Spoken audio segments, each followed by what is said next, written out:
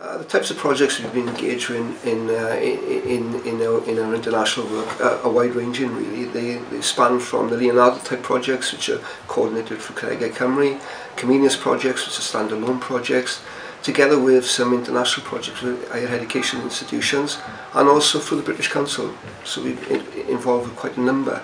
And on top of that, we're the UK license holder for Penn International, which is a virtual learning company uh, in terms of trading uh, as, as businesses across the globe. One of our strategic aims is, is to deliver a curriculum that's, that's meeting the needs of our people and employers of Wales.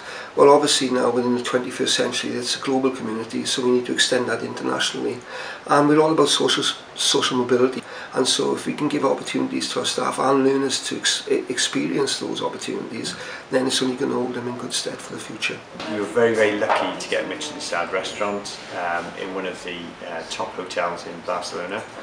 Uh, we didn't know until we would just go in um, and the students were very excited about that. Uh, the, the, the Europass was uh, something that the students have to write in, or write in their experience of what they've done over in the uh, Barcelona uh, restaurant and then that will stay with them um, and they can go then to a, an interview with them so that the interviewer will see that they've uh, travelled abroad, worked abroad um, and got the experience that, that they had abroad.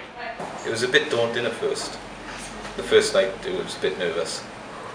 But once I got in it and got down to it, it was a blast. It was really fun. In the kitchen, the teamwork was a real eye-opener because I found a lot of the chefs didn't actually need, need to speak to each other.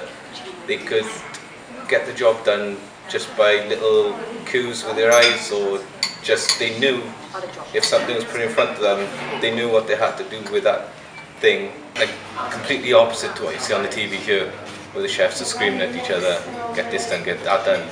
Over there, they barely had to speak to each other. Even even the waiters, you know, the waiters would come in, they'd know where the food was going. The chef would need to shout, or this table, that table. And it was, it was an eye-opener. By the end of the placement, I picked up quite a bit of Spanish. Um, I was quite confident that I was able to deal with the pressure of being in a, a, a high demand environment in a place where I don't speak the language. And um, I was able to deal with that pressure. And it's given me the confidence to work in places like Cardiff or Bristol or London even, and not Baton Island because I know I can do it in Barcelona.